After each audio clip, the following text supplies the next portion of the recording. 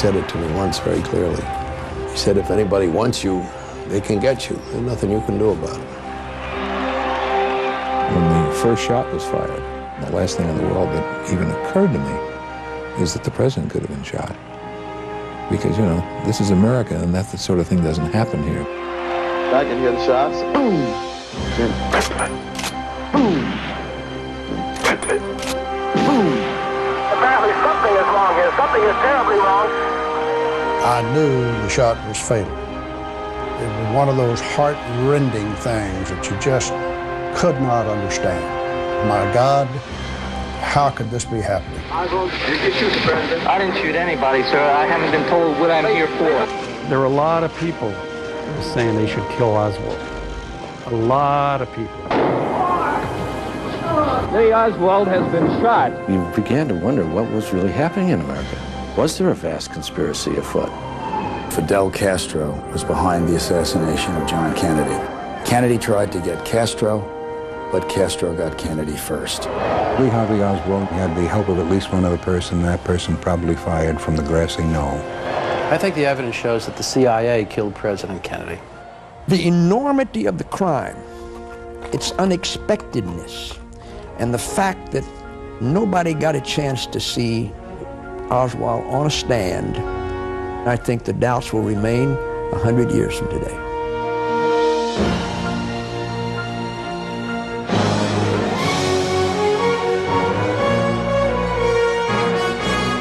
CBS reports.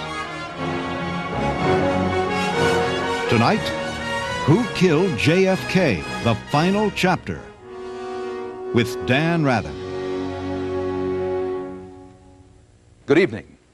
For nearly 30 years, the world has been haunted by the greatest murder mystery of the 20th century. Who killed President John Fitzgerald Kennedy? Were the death of a president and the pain endured by the nation caused by one lone assassin?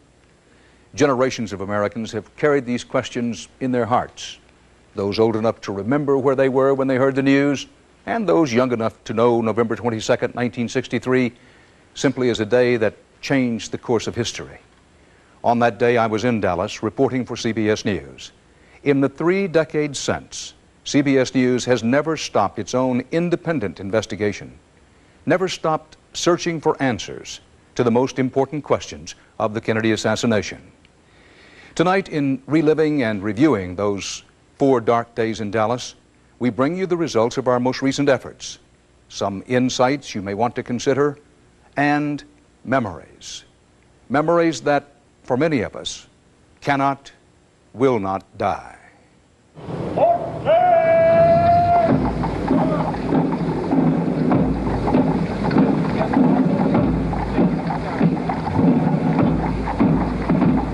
I, John Fitzgerald Kennedy, do solemnly swear that I will faithfully execute the office of President of the United States and will, to the best of your ability, and will, to the best of my ability, preserve, protect, and defend the Constitution of the United States. preserve, protect, and defend the Constitution of the United States. So help you God. So help me God.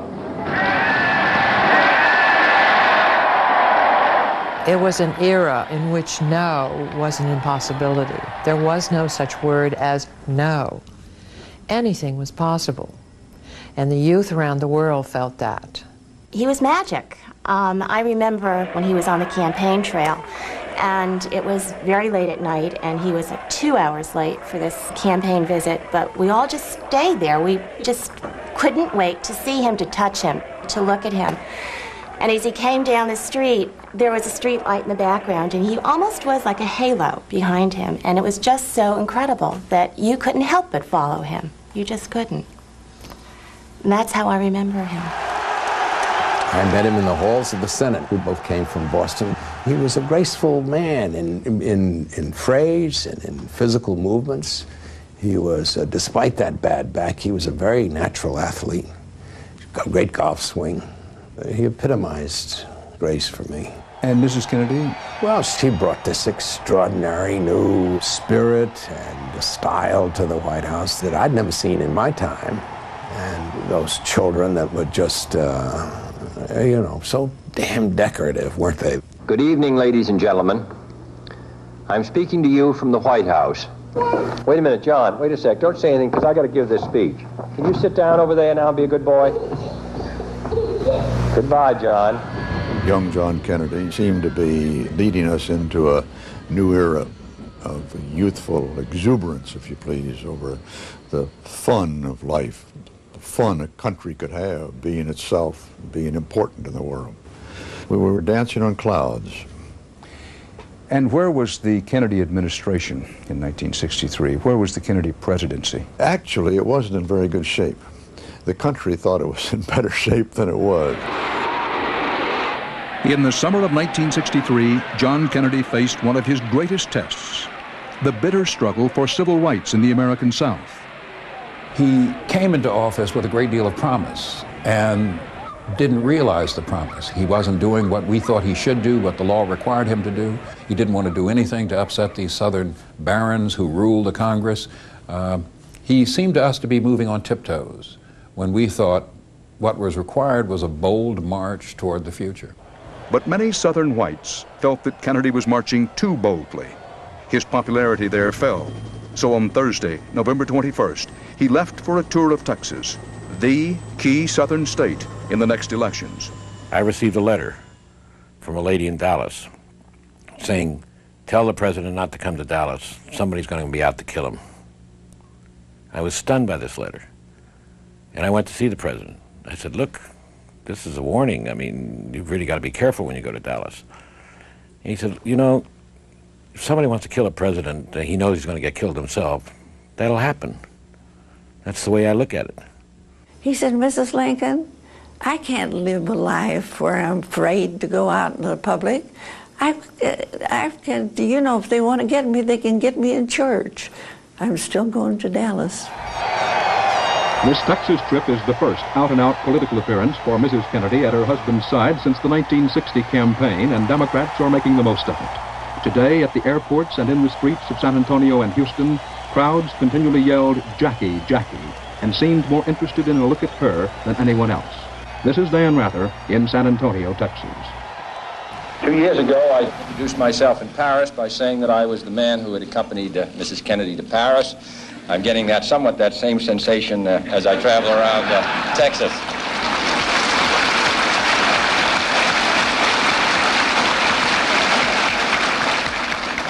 Nobody wonders what Lyndon and I wear. A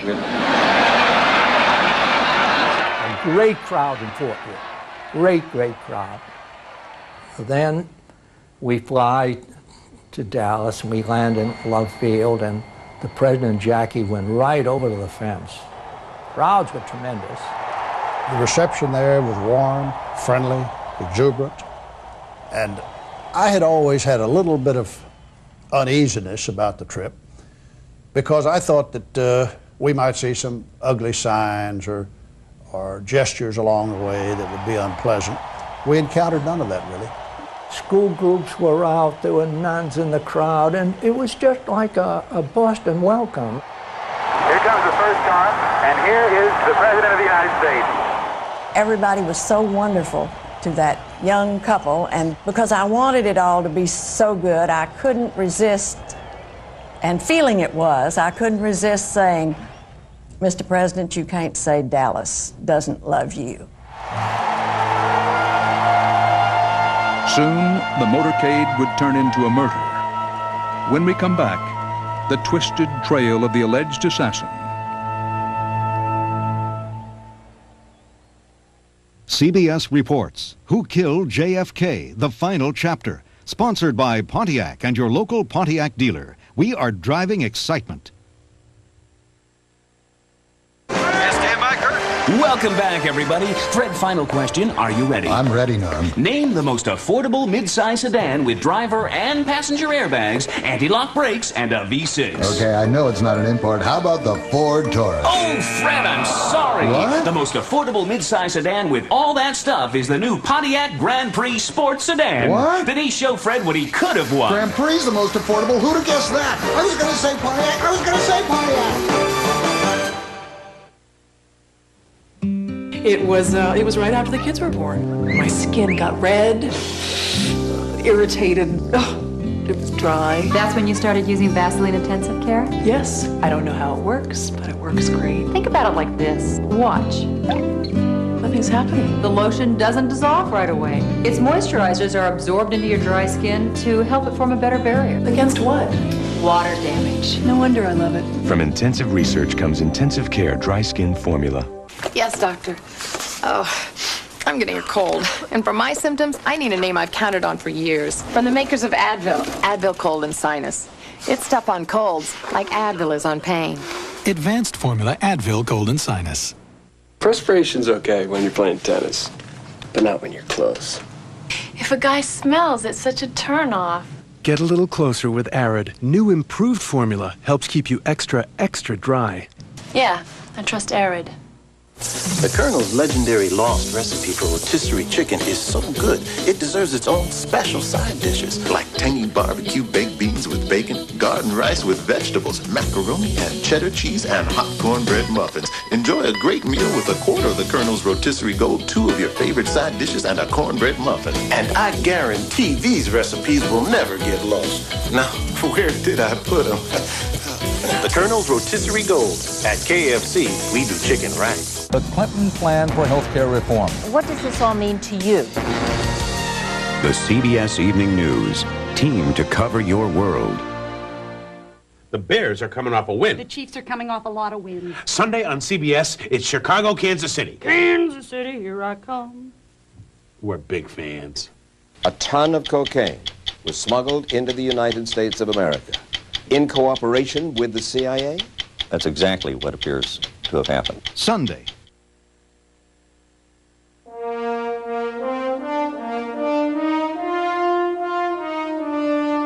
Lee Harvey Oswald was barely 24 when President Kennedy was killed, yet Oswald's short life had twists and turns, adventures and secrets that provoked thoughts of intrigue and conspiracy.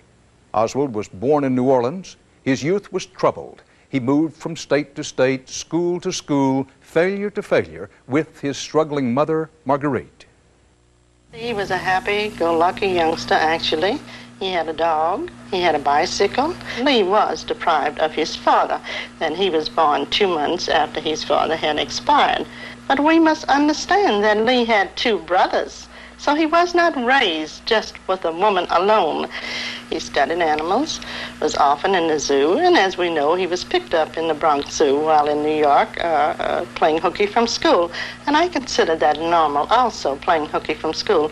Many, many boys do this. Lee Harvey Oswald's youth was far from normal. His mother kept losing jobs, and they moved five times before Lee was four years old. He was put in an orphanage for a while. By the age of 12, when they had moved to New York, he was in trouble academically and emotionally. You may be aware that at least one New York newspaper has quoted a social worker psychiatrist in New York as saying that at one time it was recommended to you that Lee be given some treatment. Do you recall that at all? Uh, that quotation that you just said is incorrect. She is incorrect. The doctor diagnosed Lee Harvey Oswald as emotionally disturbed. After a judge ordered that he be put in a home for troubled boys, the Oswalds left New York. In high school in New Orleans, Lee began to study communism at the public library. That didn't stop him from joining the U.S. Marines a few days after his 17th birthday. He was standoffish. He felt like he was a little smarter, possibly better than the rest of the people. He felt like that he ought to be the one doing the telling, uh, and he was just kind of mad at everybody all the time. Private First Class Oswald taught himself Russian in his spare time. The Marines taught him how to shoot. He hit 48 of 50 targets at 200 yards. He was happy to get out of the Corps three months ahead of time, supposedly to help his ailing mother. He spent three days with her, then left to pursue a long held secret desire.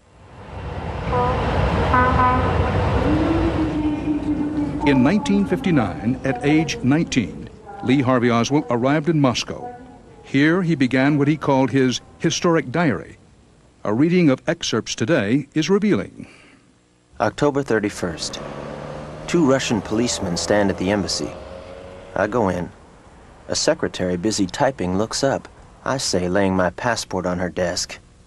I'm here to dissolve my American citizenship. He came into my office, stood stiffly before me, that he said, I'm a Marxist. And I said, You're going to be a lonely man here in the Soviet Union. I knew I was dealing with an immature young American, whatever he sounded like, however arrogant he may have seemed and what have you, you know, he was still, in my mind, he was a dumb kid. he was very nice looking, and he had a slight southern accent. I rather liked him. He said he did not want to live in the United States because he would be living under capitalism and he would be exploited as he had seen his mother exploited. And therefore, he wanted to stay forever in the Soviet Union. The KGB in Moscow routinely investigated foreigners to see if they were spies or could be of help to the Soviet Union. Oswald asked to stay. KGB came to the conclusion we don't want to deal with this person. We don't want to talk with him. We cannot trust this person. That was final. Yuri Nosenko was the KGB officer in charge of watching Americans. For this rare interview, he asked that his identity be hidden. We asked why Oswald wasn't recruited. He didn't present any interest. He's former Marine, private or corporal or whatever, nothing more. Of course, if this Marine was working in uh, American embassy in Moscow or some other country, he would present interest. But hear nothing. Evening. Receive word from police official. I must leave country tonight. My fondest dreams are shattered. I decide to end it. Soak wrist in cold water to numb the pain, then slash my left wrist, then plunge wrist into a bathtub of hot water. Somewhere a violin plays. As I watch my life whirl away, I think to myself, how easy to die. Oswald is laying on the floor, bleeding cut wrist. And he was taken in hospital where he said, I still will kill myself if they will not allow him to stay. The Soviets say they were trying to improve relations with the United States. A dead ex-Marine in Moscow would have meant trouble, so they say Oswald was permitted to stay, but far away from the capital, raising questions whether he was lucky or a tool of the Soviets. Official says they are sending me to the city of Minsk. I ask, is that in Siberia? He only laughs. I receive a small flat with splendid view of the river, almost rent-free. It is a Russian dream. I am to earn 70 rubles a month at the factory. I have a lot of money and hope. This is the shop where Oswald worked. His workbench was right here. We didn't notice anything bad about him here. He didn't like to work, but that was another matter. March 17th. Went to a trade union dance. Boring, but at the last hour I am introduced to a girl with a French hairdo and red dress. I dance with her, then ask to show her home. I do, along with five other admirers. Her name is Marina. Marina ушла на вечер. Marina looked beautiful that evening, and she had lots of people interested in her. Then she came home around one in the morning and said, I'm not alone. There's an American with me. It was Lee Harvey Oswald. She is madly in love with me from the very start. Boat rides on Lake Minsk, walks through the parks. I decide I must have her. I propose. She accepts. We are married at her aunt's. At midnight, we are home.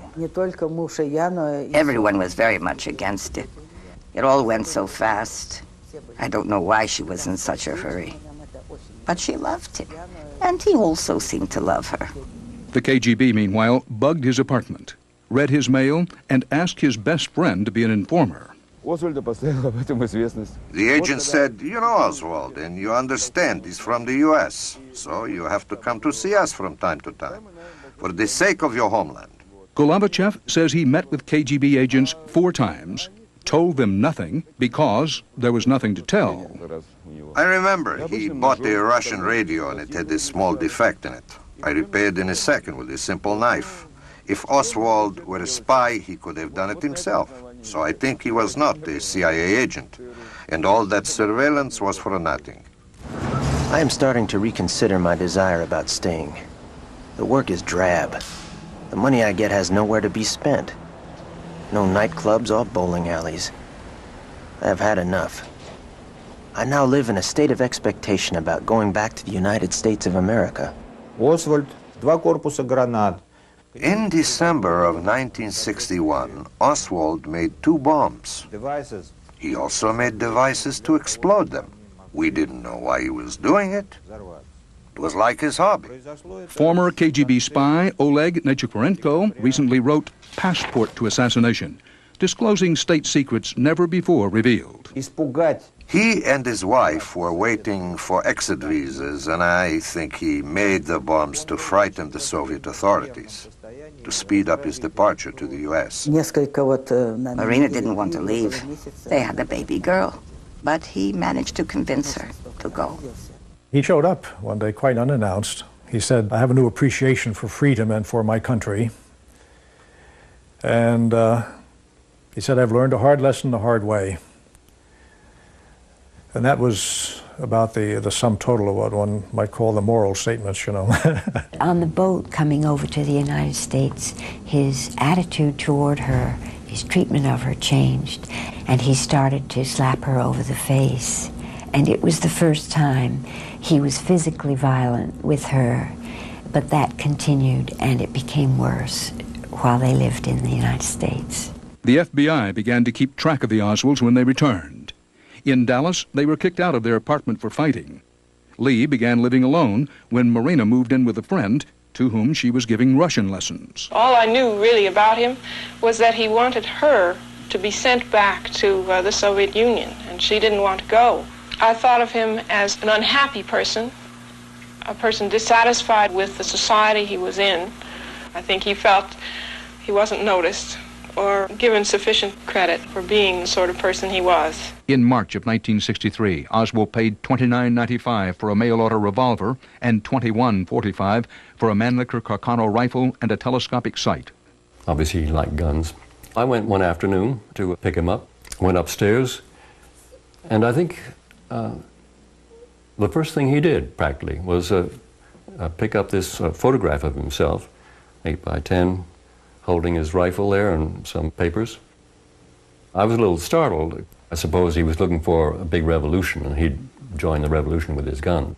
He thought the only way change would come about was through violence. A few weeks after receiving his rifle, Oswald apparently tried to change things for retired Army General Edwin Walker, a right-wing crusader, by firing through Walker's window. The bullet went through the general's hair. He come in the house 11:30.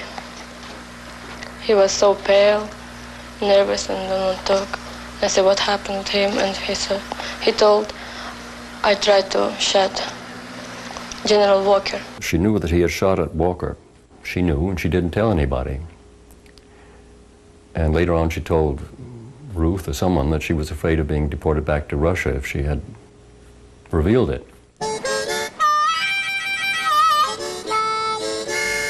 Unsuspected of the crime and unemployed, Oswald quickly left for New Orleans. He found a job oiling coffee roasting machinery and gained local fame handing out pro-Castro literature. You're a Marxist? Well, I have uh, studied Marxist philosophy, yes, sir, and also other philosophers. But are you a Marxist? I think you did admit on an earlier radio interview that you that you consider yourself a Oh, Marxist. I would very definitely say that I uh, I uh, am a Marxist. That is correct. But that, that does not mean, however, that I'm a, a uh, communist. Oswald's celebrity was short-lived. Not one person joined his Fair Play for Cuba committee. He was fired from his job for not working hard enough. Disillusioned and desperate, Oswald decided that he wanted to leave the country once again to live in either Russia or Cuba. He took a bus to Mexico City and visited the Soviet embassy. He came to our embassy explaining that the FBI in the US was persecuting him, interfering with him getting a good job. To prove what he said, he pulled out a revolver. He said he was forced to carry it around all the time to protect his life.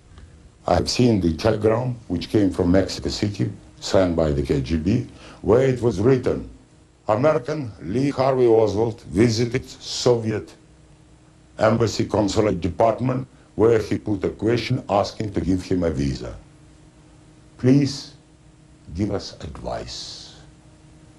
I said, isn't it the guy who cut his wrist? Yes, I said, how come he's in Mexico?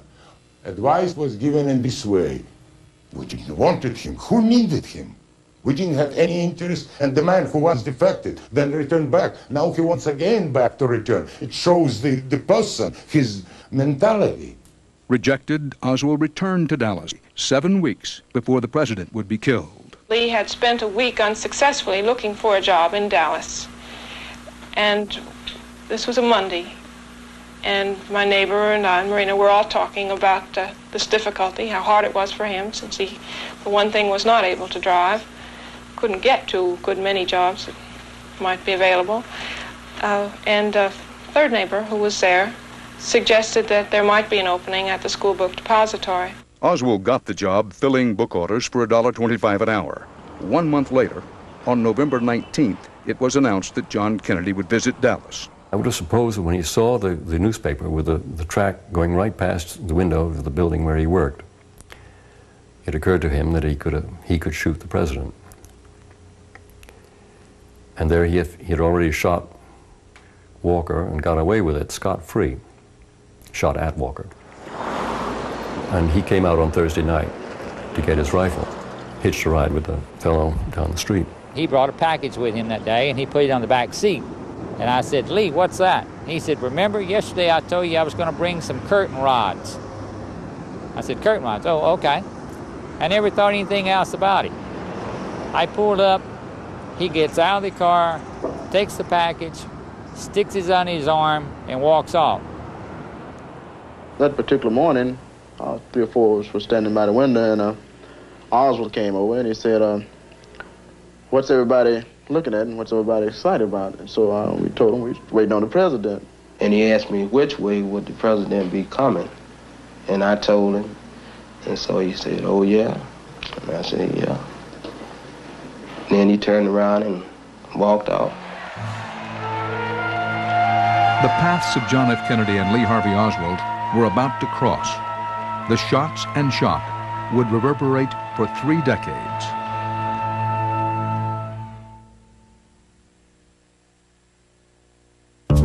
He packs heavy. She packs light. She wears silk. He wears wool. He's comfortable at 68 degrees. She prefers 72. Good thing they own a Buick Park Avenue with available dual zone climate control. 72 for her, 68 for him. Too bad everything isn't as accommodating as Park Avenue. From Buick, the new symbol for quality in America. Lysol spray use number 64, that funky smell in the garbage can.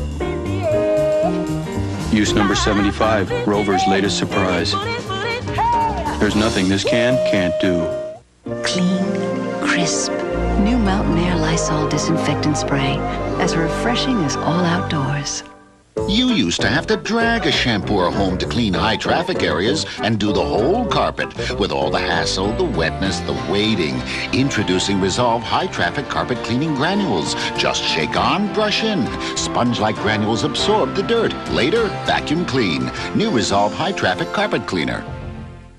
Introducing new improved Lysol toilet bowl cleaner with a formula so powerful it's like having a brush in a bottle. Oh, that's better. Is the coast clear? Yeah, look out! This kind of power makes cleaning your toilet easier than ever before. Improved Lysol toilet bowl cleaner. It's like having a brush in a bottle. This is your captain speaking. We've just reached our cruising altitude of 31,000 feet. And in a moment, the flight attendants will begin serving lunch and... Captain, we forgot the Colombian coffee.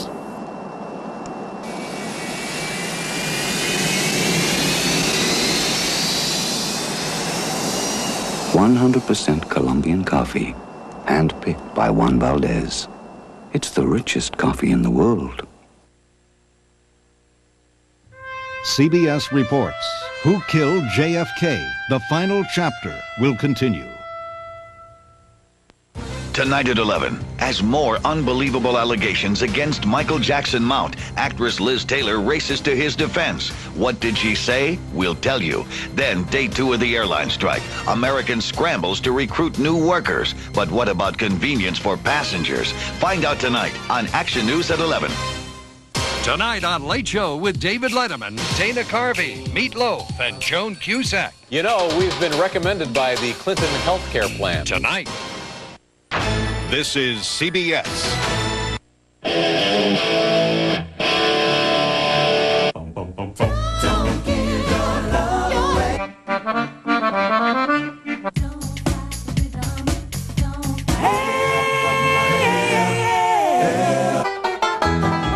Every day, hundreds of thousands of people all across California turn to their favorite station.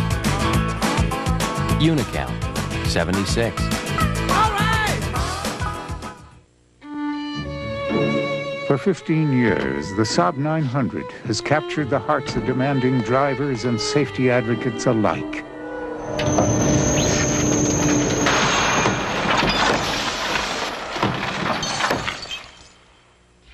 But now it's time for a new Saab with an optional new 24-valve V6 and even better crash protection, announcing the rebirth of the Saab 900. Parents band together to protect their children from a child molester at 11.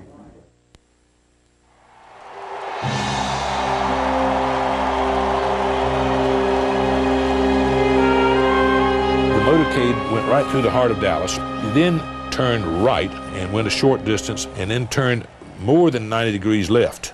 And the Texas School Book Depository is at that corner. We had just about made the turn, and I'm had the job of keeping the president on time. And I, I looked at my watch, and it was exactly 12:30 Texas time. President's car is now turning onto Elm Street, and it will be only a matter of minutes before he arrives at the Trade Mart. And then I heard the first shot. It appears as though something has happened in the motorcade route. Something, I repeat, has happened in the motorcade route. I heard what I thought was a rifle shot. I thought the shot came from behind me, and I didn't see anything, so I was in the process of turning to look over my left shoulder into the back seat. I'm looking right at the president, and he had his right hand out waving to the people, and now he had pulled it in, and it's up around his neck, and he had fallen toward Jackie, and I said, I think our president's been shot. I had not gotten turned to my left to see the president when I felt uh, a sharp blow, like somebody walked up behind me and hit me with a closed fist. The force of the blow was strong enough to bend me over, and I saw immediately that I was covered with blood.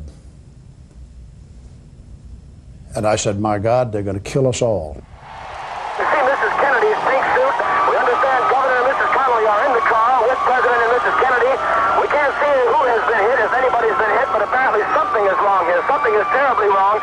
It was such a strange moment because there were people still smiling and waving little American flags and applauding because the motorcade blocked out the action that was going on. On the other side, people were screaming and hurling each other down because of the shots that were being fired. There's numerous people running up the hill alongside Elm Street. Police officers are rushing. Nellie then pulled me over in her lap and put her head down on mine and said, Be still, everything's going to be all right. I was still conscious. Then I heard another shot. I knew it had hit because it sounded with an impact that loud. And after that shot, the car, our clothes were covered in blood and even chunks of brain tissue. And now I'm looking at Jackie as she had climbed out in the rear of the car just about the time it had started to accelerate. And Clint Hill, the Secret Service man who was on the left front running board in my car, managed to get onto the car and push Jackie down and get on top of her at a time that we're going between 70 and 90 miles an hour. And it was a, a, a great act of bravery on, on the part of Clint Hill. Still spread eagle over whoever is in the car, the President and Mrs. Kennedy. And I turned in a different direction. I'd have made it. It's my fault.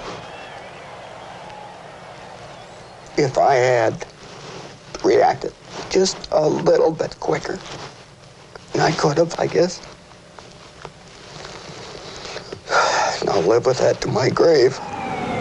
Parkland Hospital, there has been a shooting. Parkland Hospital has been advised to stand by for a severe gunshot wound. We in the press pool car sped off.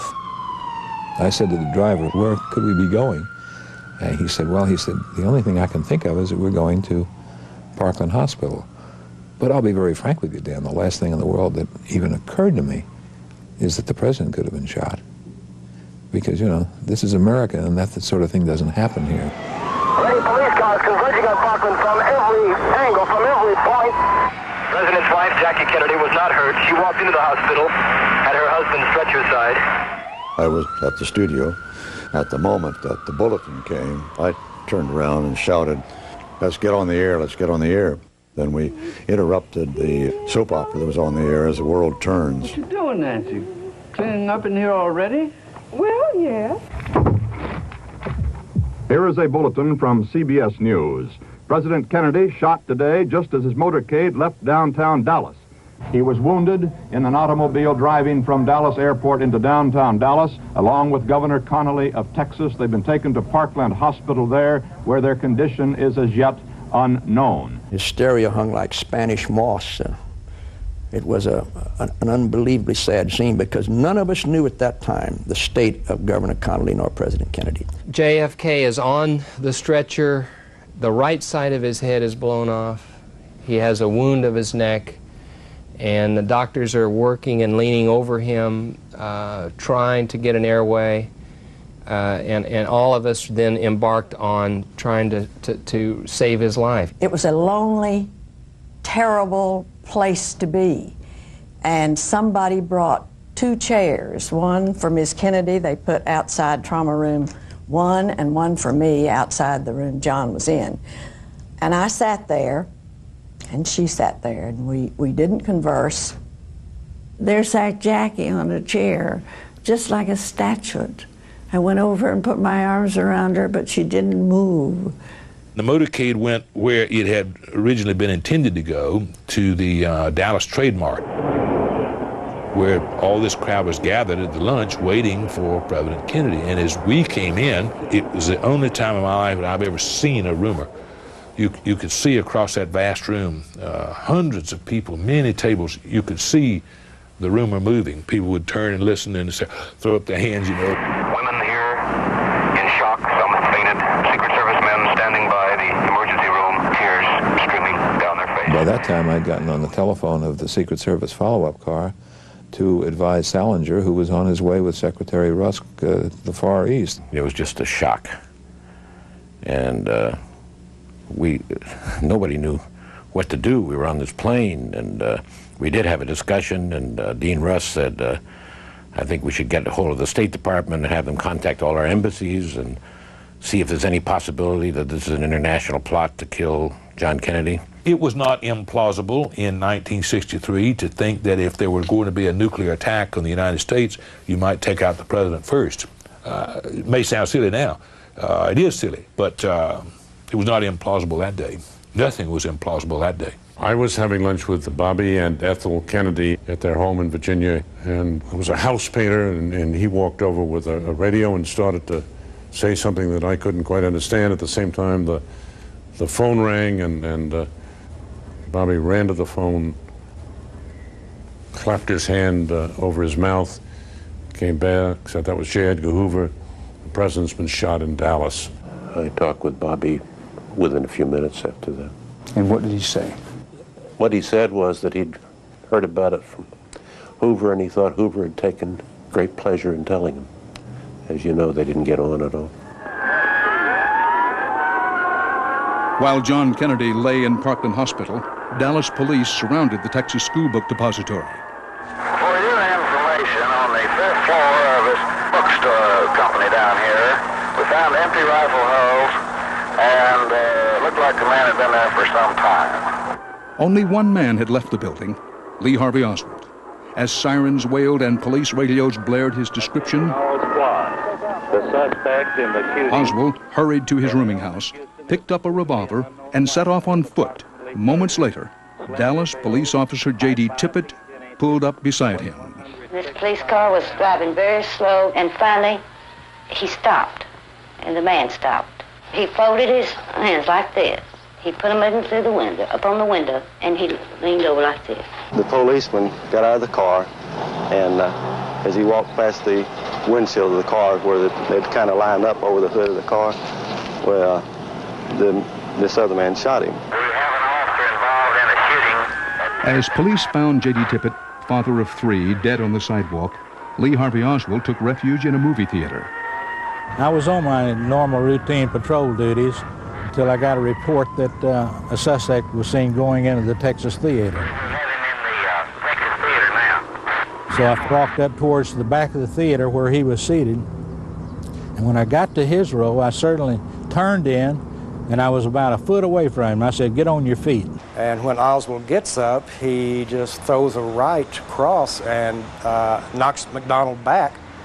And at that time, reaches under his shirt and pulls out a revolver. And while he was doing that, I was reacting and coming back, and I was reaching for his waist.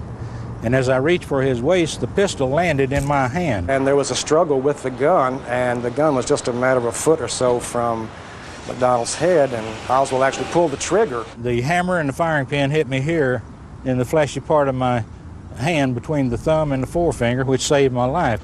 We handcuffed him and took him out of the theater, and he was all the time protesting police brutality. That don't hit me anymore. Well, I was the only one that ever struck him in the first place. But I was elated that we had got the guy so quickly because it was only 90 minutes after the shots had been fired that he was arrested in the Texas Theater. The pistol seized from Oswald was the weapon he purchased by mail seven months earlier, and according to the KGB agent in Mexico City, was the same model as Oswald pulled out of his pocket in the Soviet embassy. Regarding the probable assassin, the sheriff's officers have taken a young man into custody at the scene, a man 25 years old. We are we just have a report from our correspondent Dan Rather in Dallas that he has confirmed that President Kennedy is dead. There is still no official confirmation of this, however. It's a report from our correspondent Dan Rather in Dallas, Texas. The doctors there worked for 10 or 15 minutes or so before they concluded it was no use and pronounced him dead. I wandered through uh, Parkland Hospital and found an office, and I called my New York office. Dallas, November 22nd. President, President John F. Kennedy was shot and killed here today, period. With no one to, no, I'm sorry, with no one attending him but physicians and nurses. He died without regaining consciousness or uttering a word. Johnson was running up and down the corridors saying, Oh, it's been a conspiracy, it's been a conspiracy. And he said, Let me go out to Air Force One, I want to go right away. And uh, he did. And he laid in the bottom of the, of, the, of the car on the way out. John F. Kennedy died at approximately 1 o'clock Central Standard Time today here in Dallas. He died gunshot wound in the brain.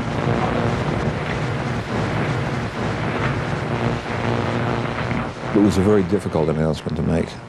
I have no other details regarding the assassination of the president.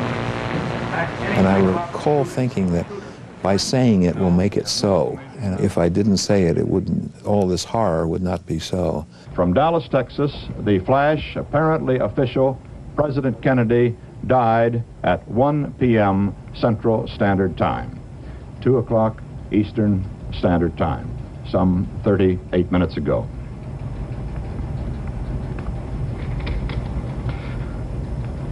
Vice President Lyndon Johnson has left the hospital in uh, Dallas, but we do not know uh, to where he has proceeded.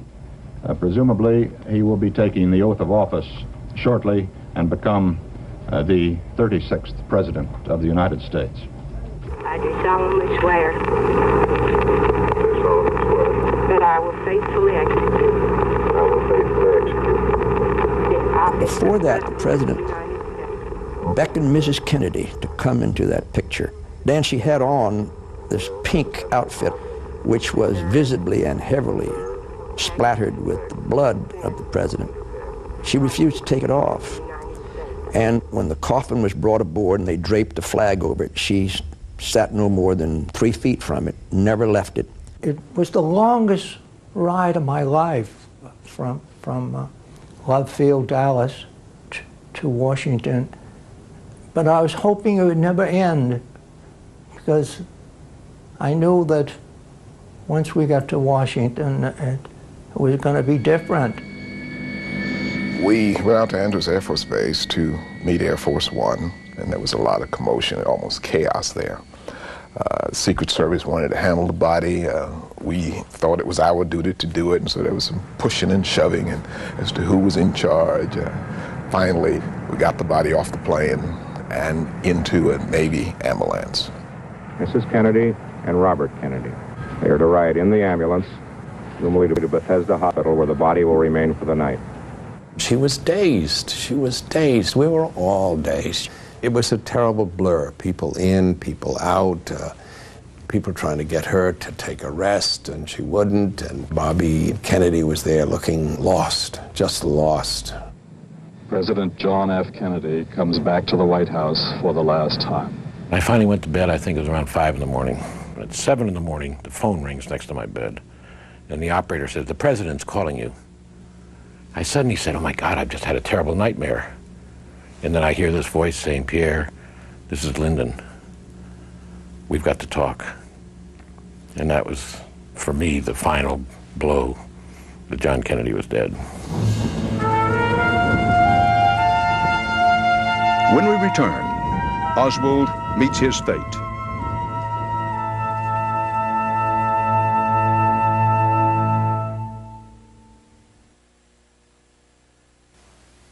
Ever wonder why a hamburger costs 10 bucks in Tokyo? Or why a cab to the airport there runs about 120? Or why their luxury cars seem so expensive, especially when compared to the Oldsmobile 88 Special Edition? Which, even with air, automatic, cruise, tilt, anti-lock brakes, and dual airbags, costs just $19,995? It's your money.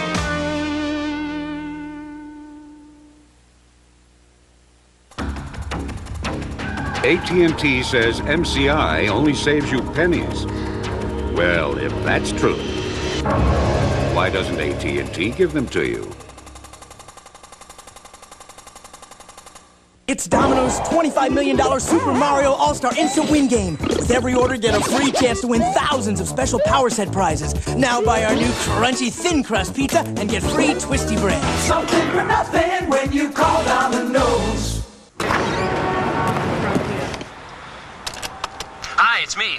Okay, here's the plan. Dinner at Scott's. Uh, you know, Andy's friend. D- don't worry, you'll like him. Can you be ready by 7? I love you. Bye. Hi, it's me again. Uh, you got more time. Scott's is off. We're going to Andy's instead. Be there at 8. See ya. Bye. Hi, it's me. I forgot. I said we bring the wine. Can you do that? You're the greatest. Bye. Hi. You're gonna kill me. All across America, people are discovering a better place to buy tires. All the top name brands at one store, only at Sears. And when it comes to price, we won't be undersold. Now through November 28th, we've got all Bridgestone road handlers on sale, as low as $29.99 each. That's right, Bridgestones as low as $29.99. Backed by free Sears road hazard coverage. Sears Tire and Auto Center. We're driven to satisfy. Tonight, Dana Carvey. I did not know that. Ah! Meatloaf and Joan Cusack. Folks, if you don't have a show of your own, watch mine. In a gothic tale of brotherly greed. My father is dead. Will a trip to Ireland give Jessica a lead? I have to know what happened. All new Murder, She Wrote. Then the Waltons are coming home. Ralph Waite, Michael Learned, and Richard Thomas are reunited with the original cast for a Walton Thanksgiving. Sunday.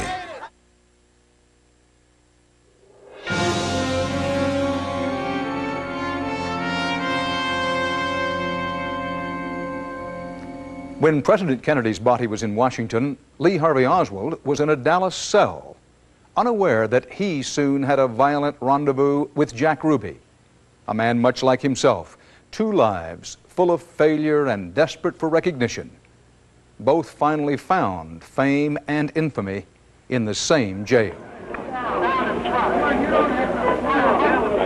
I positively know nothing about this situation here. I... On Friday night at midnight, Lee Harvey Oswald was led down into the basement to a police lineup room. He was put on display especially for all the out-of-town and foreign reporters who were flying into Dallas from everywhere. Did you kill the president? No, I've not been charged with that. In fact, nobody has said that to me yet. Uh, the first thing I heard about it was when the newspaper reporters in the hall uh, asked me that question. You have been. Nobody said what? Sir? You have been. Nobody said what? Okay, we can't hear you then. Okay. I was in Tokyo at that time, and on the road I turned on Armed Forces Radio, and the announcer said that a man named Lee Harvey Oswald had been arrested in connection with the assassination. I said, that son of a bitch. Oswald, did you shoot the president? I didn't shoot anybody, sir. I haven't been told what I'm here for. You have a lawyer? At the police station, when I saw him later on at night, he was proud of what he had done. He thought that he'd be recognized now as somebody who did something. Marguerite, his mother, came home with us. And while we were talking with Marguerite that evening, she was she was obviously trying to think ways she's going to make money out of this. She wanted uh, Lee to be enough involved that, that her story would be valuable. And she didn't want him to be so involved that he'd get executed. But I emphatically deny these charges. I saw Lee Harvey Oswald being led to an interrogation room. They're taking him down the hall. Unbelievable that that kind of a situation was allowed to exist. That hall is so crowded with newspaper people and onlookers who didn't belong there, uh, plus police officers and so on. If anyone had shot Oswald that night, he couldn't have fallen down. As reporters fired questions and photographers jostled for better angles, one interested bystander just looked on that Friday night. A Dallas strip joint owner named Jack Ruby. Jack was like an honorary policeman. That's why he could get into the police station. All of those detectives and policemen used to visit Jack's nightclub. He was a likable fellow. Ruby was like horse manure. Wherever there was anything going on, he was all over town. Ruby ran the Carousel Club. To find new strippers, he dealt with the mafia. To keep his license, he courted cops. To get attention, he'd do almost anything. He wanted notoriety so badly. He just wanted people to know Jack Ruby was there. A tough guy. He was his own bouncer in his nightclub. Jack was a loser. Nice guy, pretty handy with his fists. If he was upset with you, he'd just grab you and throw you down the steps. Came from that kind of a neighborhood in Chicago. That's the way he grew up. Jack was very upset from the time Oswald shot Kennedy. He hated him for killing the president. He loved President Kennedy. And so did millions of other people. Millions. There were a lot of people that were saying they should kill Oswald. A lot of people. On Sunday morning, we were getting ready to transfer Oswald into the county jail. I kind of jokingly or in jest said to Lee, I said, Lee, if anybody shoots at you, I hope they're as good a shot as you are. Meaning, of course, that they'd hit him and not me. He kind of laughed or smiled, and it's the only time I saw him smile or eh, eh, during the entire time he was in custody. When I started to transfer him down to the basement, I had my left arm handcuffed to his right, and I was wearing the light-colored suit. I could see out of the corner of my eye Jack Ruby come out of the crowd with a pistol in his hand. I saw what I thought was a detective. He was dressed just like a detective with a snap brim fedora hat, and it was Jack Ruby. He saw all the cameras there. This was like a big Broadway stage. Oswald is coming toward him, and he would look at us like we were dirt. This is one thing that got to Ruby. He mentioned the fact that he didn't like his smirk. There is Lee Oswald. He's been shot. He's been shot. Lee Oswald has been shot. There's the man with a gun. It's absolute panic. Absolute panic here in the basement of Dallas Police Headquarters. The detectives have their guns drawn. Oswald has been shot. Here comes Oswald. He's he is ashen and unconscious at this time. Now being moved in, he's not moving. My statement will be very brief. Oswald expired at 1:07 p.m. We have arrested the man. The man will be charged with murder. Who is he? The, man, the suspect's name is Jack Rubenstein, I believe. He goes by the name of Jack Ruby. I knew Jack Ruby That's from years back. And I asked him later, I went to see him in the jail after that. I said, Jack, why did you do that? You didn't have to kill him. I says, I could have killed him over there in the theater, but I want to know what he's all about. And he said, well, the reason I did it was because I didn't want Jackie Kennedy to have to go through a lengthy trial here in Dallas. So he's just an emotional man, as always was. I talked to Jack in jail just within an hour after he killed Oswald, and his explanation was that you guys couldn't do it. Kill the man that killed the president. Of course, Jack's problem was that uh, when he killed Oswald, he had taken the sporting element out of it. Uh, Oswald was in handcuffs, and you, it just really isn't socially acceptable to shoot somebody in handcuffs. I'm positive that he, he saw himself appearing on the Ed Sullivan show the following Sunday. There was an outpouring of, uh, of telegrams and letters and phone calls praising what he had done by shooting Oswald before uh, much of the country came to its senses and realized that he had silenced the one human being who, who could unlock the whole story about the, the president's death. I can see that today.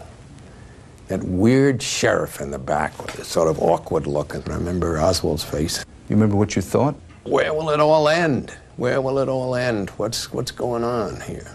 You began to wonder what was really happening in America. I mean, was there a vast conspiracy afoot? What was being accomplished here? That began for the first time to awaken n- n- theories that there might, might have been some larger participation in that, and that Oswald had been rubbed out uh, because to keep him quiet, and that uh, this the theories of mob uh, involvement in the assassination. Jack Ruby had had uh, mob connections. Those underworld ties had begun in Chicago. Some of Ruby's childhood friends had become big shots in the mob, but there is no proof that Ruby ever did business with any of them. He visited Havana the year Castro took over, but apparently only to have a good time. He often went to New Orleans. That's where he found his showgirls and where he dealt with the mafia. But there is no solid evidence of any other mob connection or conspiracy. He's been accused of being a front for the mafia and a fixer for this and that. He couldn't even fix his own traffic tickets. And as far as uh, him being around the mafia, they wouldn't have let that blabbermouth within a half a mile of one of their hotel rooms. Ruby was charged with murder. Just four months after killing Oswald, he heard the verdict. We, the jury, find the defendant guilty of murder with malice as charged in the indictment and assess his punishment at death. Signed Max E. Causey Foreman. Ruby died in jail. Cancer, said all the doctors. Cover up, charged conspiracy buffs. More about charges of cover ups and conspiracies when we come back.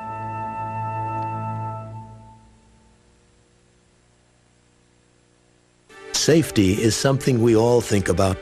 Buick has considered the subject from many angles. So for frontal impacts, Buick Regal offers a driver's side airbag. And for side impacts, Regal meets 1997 government safety standards right now. Three years in advance. Why has Buick put so much into Regal? Because you put so much into Regal. Regal from Buick, the new symbol for quality in America. You wouldn't take your $1,200 evening gown to a laundromat, so why take your GM vehicle to anyone other than your GM dealer? No one else has the training and genuine GM parts to protect your investment. So when you need service, come back to your GM dealer. Canker sores are torture. New Sensiguard stops the pain fast and stops it for hours. Sensiguard won't wash off. Sensiguard stops the pain fast, stops it for hours. New Sensiguard stays on guard against canker sore pain. Today, for sinus sufferers, from the makers of full prescription strength Actifed, there's Actifed Sinus, daytime, nighttime. The first sinus relief system with two formulas to treat sinus pain right, day and night. The daytime formula breaks up sinus congestion so you can breathe without making you drowsy. The nighttime formula is maximum strength so you can rest. Your sinus is better? Oh, yeah. Actifed Sinus, daytime, nighttime. Treat sinus pain right, day and night. Introducing a delicious new way to lose weight. Great tasting shakes and fabulous fruit flavors from Ultra Slim Fast. Juice it up, lose weight, feel great. There's luscious orange pineapple, refreshing apple cranberry raspberry, and delicious orange banana strawberry. I lost 50 pounds in six months on the Ultra Slim Fast plan. Juice it up, lose weight, feel great. Try these fabulous new fruit flavors from Ultra Slim Fast. Give us a week, we'll take out the weight. When we come back, did Oswald really do it?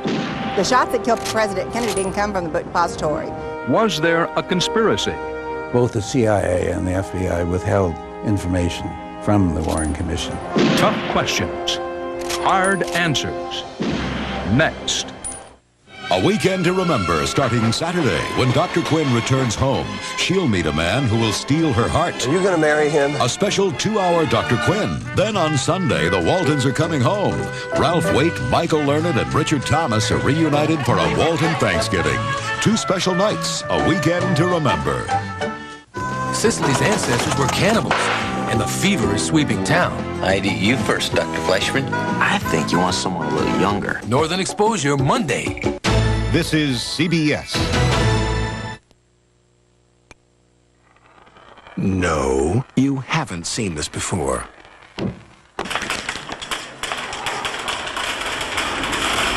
Introducing the tough new chip-resistant finish on the 94 Chevy S-Series. So new from the inside out. Everything else is history.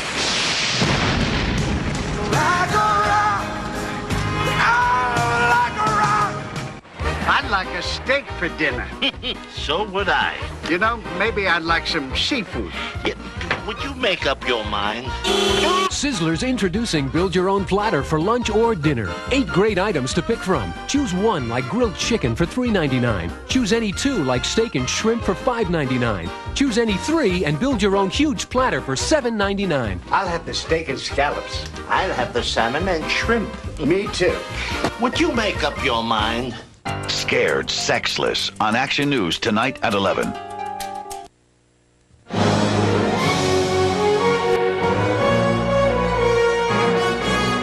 CBS reports. Who killed JFK? The final chapter continues with Dan Rather. A president killed, the alleged assassin murdered, insatiable curiosity and unanswered questions. It's no wonder that there's widespread belief there was a conspiracy to kill JFK.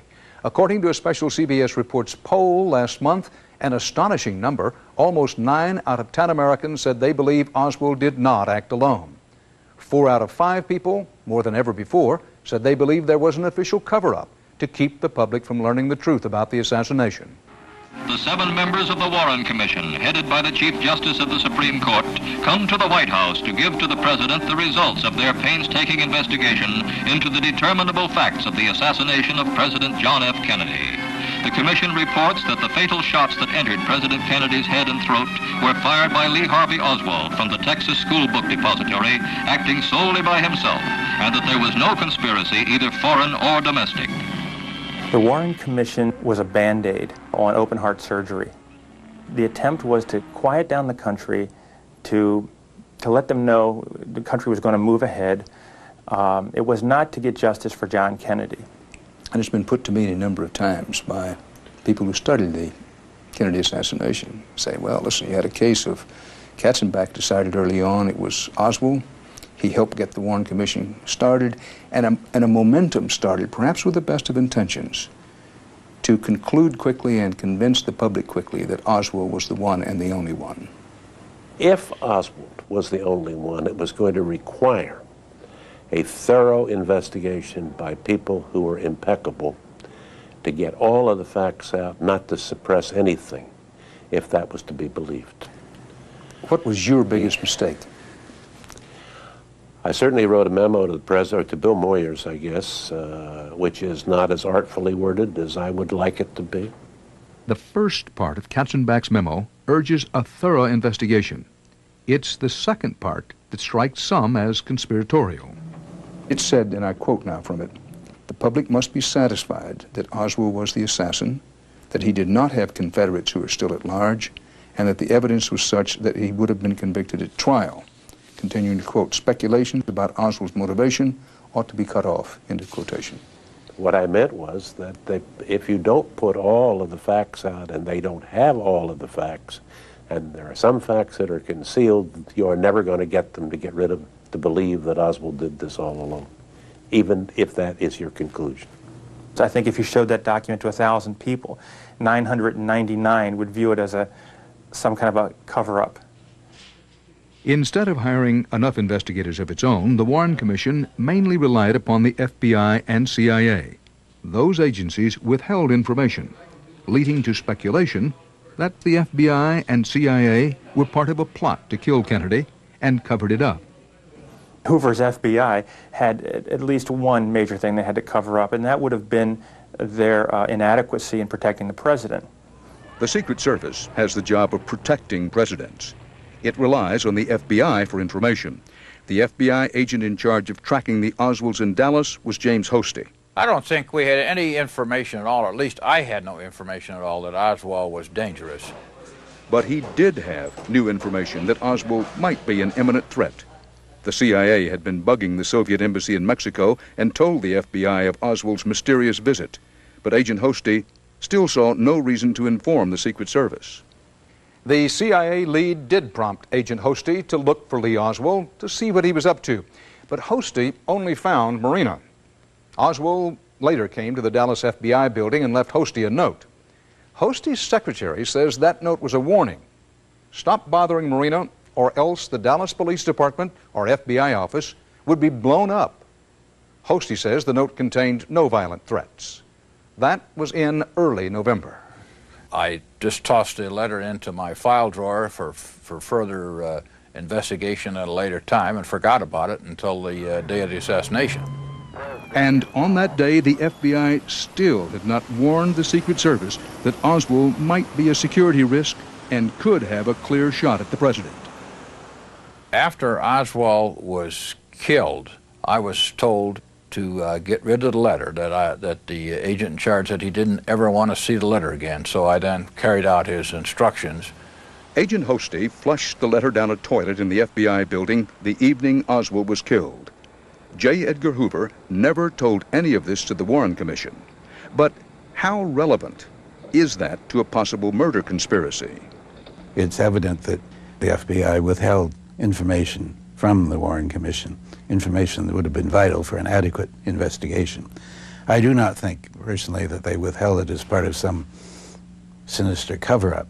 I think they withheld it for self protective bureaucratic reasons because it would have exposed uh, their own incompetence and failure. Just about every FBI agent says any and all leads were pursued. But many Americans still point to what they consider to be four main suspects as possible conspirators the Soviets, extremists in the CIA, the Mafia, and Cubans, pro or anti Fidel Castro. Each may seem to have had a motive to be part of a conspiracy to assassinate the president. For 30 years, there's been much speculation. Tonight, let's look at some facts. First, the Soviets. One of the first things that the U.S. government did after John Kennedy was assassinated was what an intelligence service always does, which is to locate the leader of the enemy power, in this case Khrushchev. They couldn't find where he was, and they couldn't find him for a period of time.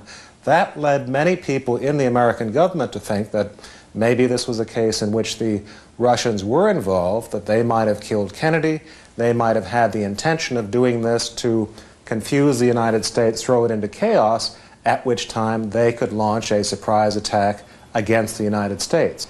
This is something that the American people did not know that afternoon. Had they known it, they would have been even more anxious and upset than they already were. The Cold War was near its height that November. Only one year earlier, the Americans and Russians nearly went to war when Russia secretly sent nuclear missiles to Havana. Khrushchev removed the missiles, but tension and a Soviet motive to get rid of Kennedy were very much in existence on November 22, 1963. The first reaction, it was shock, simply shock. How come it was killed? but especially that was killed by the American who defected to Soviet Union, then returned back. This was the shock that they will not be put fingers on the KGB, on the Soviet Union. And as far what I have seen, there wasn't a single indication that it was done by the Soviets. Khrushchev, when he found the news that a suspected assassin of Kennedy, Lee Harvey Oswald, was a defector to the Soviet Union and back again, Khrushchev was terrified that the United States would then immediately presume that Kennedy had been killed by the Russians, and therefore the United States might retaliate very soon with a surprise attack against the Soviet Union. He rushed to the American embassy without warning, and what he said was, You must believe me, the Soviet Union had nothing to do with the murder of John Kennedy.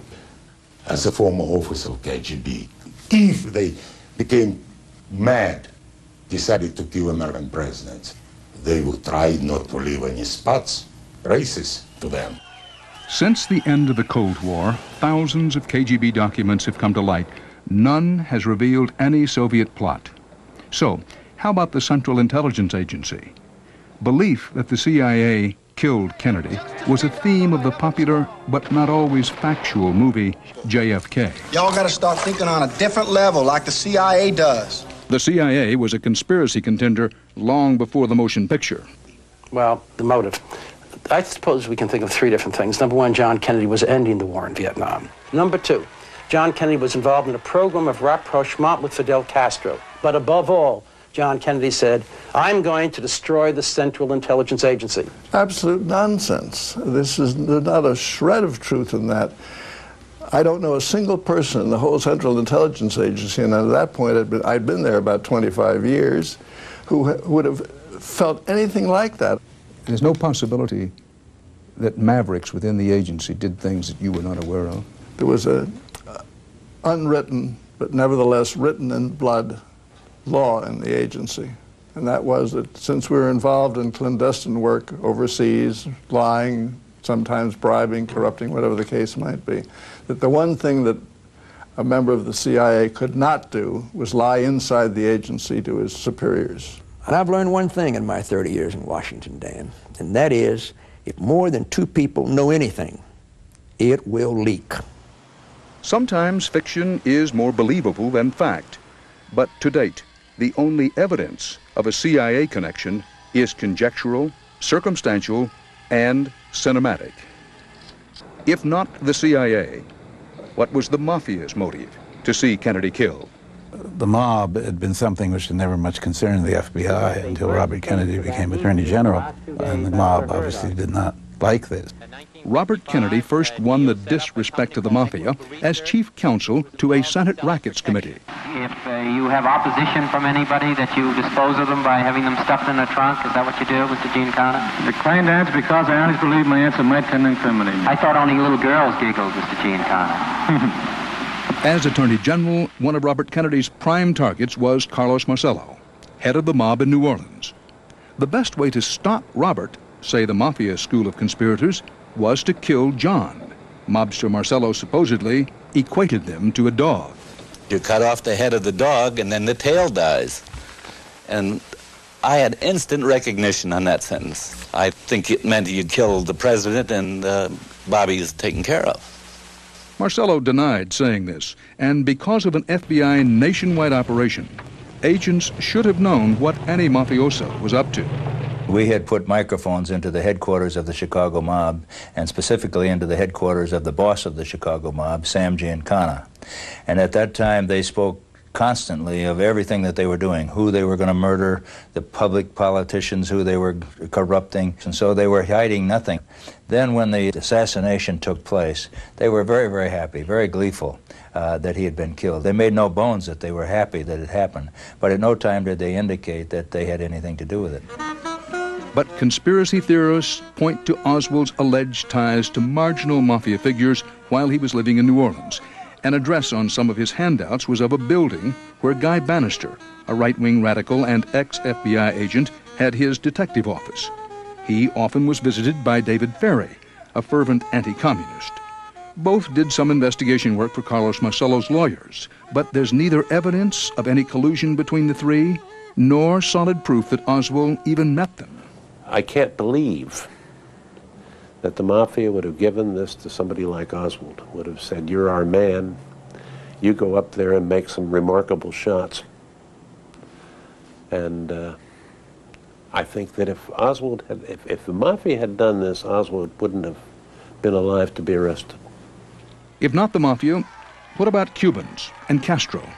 On the day Kennedy was killed, November 22nd, 1963, a case officer from CIA was offering to an agent of CIA a ballpoint pen to be used to kill Castro, a pen which had been converted by a medical doctor into a hypodermic, which is to be used to maybe put some poison into Castro if he could get close enough to him. Did it occur to you to volunteer this to the Warren Commission? You said you weren't asked. No. You know, you can't run secret intelligence operations and go around telling the world about them, including anything as open as the Warren Commission, and expect to have any operations left.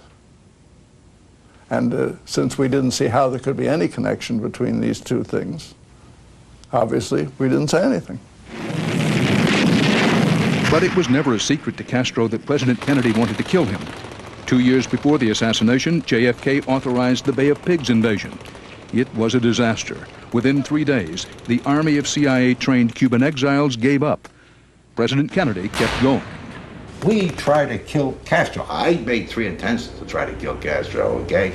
Kennedy made his attempts with other people and double agents to try to kill Castro. You think for a minute they're going to sit on their ass and not do anything to retaliate? The CIA had even approached some mafia figures to kill Castro. But none of JFK's secret war against Castro was told to the Warren Commission. And so the allegation persists that the Warren Commission did not try hard enough to find any Cuban conspiracy connection. was a colossal insanity. Would Fidel Castro, interviewed by CBS Reports in 1977, denied any involvement. Cuba, Castro said, risked being blown off the map by U.S. bombs if he were behind any conspiracy. Anyone who thought otherwise was insane. The staff report said there was no conspiracy, period. Former President Gerald Ford is the only living member of the Warren Commission. He remembers there was discord between the commissioners and their staff, prompting critics to say that's evidence of a cover up. Well, we on the commission said we're not in a position to make that firm a conclusion.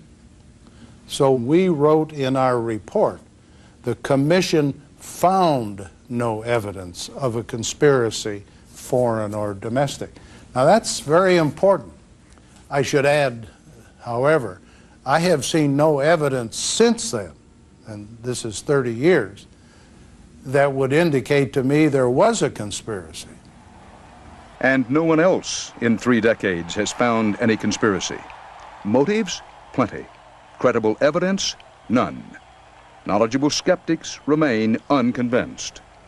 The Warren Commission went along with making things calm again, not going out to see who killed Kennedy, who could have got Oswald to do it.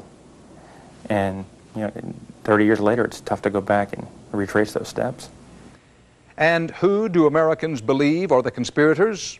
Almost half the people polled by CBS Reports think it was the CIA.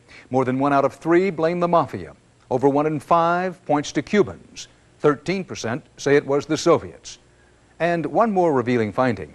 The younger you are, the more likely you are to believe that there was a conspiracy.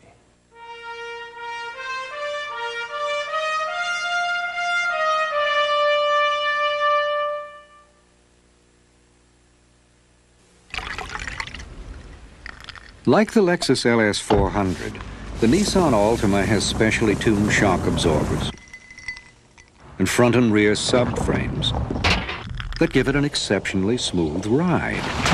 But the Altima costs less than half the money, which means you'll also have the added cushioning of a very thick wallet. Lease a specially equipped Altima GXE for just 750 down and 229 a month for 36 months. Drop everything. This is too big to miss. Color Tile's 40th anniversary price rollback. 40, 50, 60% price cuts. Saxony carpet. Price cut. $4.99 a square yard. Price cuts on ceramic floor and wall tile. Vinyl tile. Price cuts. 59 styles, all 99 cents or less. First time ever, vertical blinds buy one, get two free. First time ever, price cuts on all wood floors. Color Tile's 40th anniversary price rollback. 40, 50, 60% price cuts. You could save hundreds of dollars. Act now. Will we claim the new Norelco razor shaves closer than ever without hundreds of tests to back it up? Say our new Precision Groove helps the Norelco lift and cut system shave closer without proof? No. We wouldn't say it's our closest shave ever without science, sensors, tests. But of all the tests that prove it's closer, the most convincing requires a personal touch. The new Norelco razors, our closest shave ever. Now the movie America fell in love with can be yours during McDonald's Holiday Film Festival. Take home the smash romantic hit Ghost for just $5.99 when you buy any large sandwich. Or treat your family to the children's classic Charlotte's Web. Isn't it great? Just $5.99 when you buy any large sandwich. You can see these new movies at theaters and own the originals. But hurry to McDonald's. What you want is what you get at McDonald's today. Monday, Herman's got big news. I can't afraid Evening Shade, then. It's Thanksgiving. And Dave gets an early holiday gift from Florence Henderson. You got us burial plots? Santa got our letter. Can America's favorite mom be Dave's favorite mother-in-law? Jeez, is that you or the broccoli? All new Dave's World after Evening Shade Monday. Tuesday, she never dreamed their mission of mercy would become a race to survive. Lindsay Wagner stars Nurses on the Line, Crash of Flight 7, Tuesday.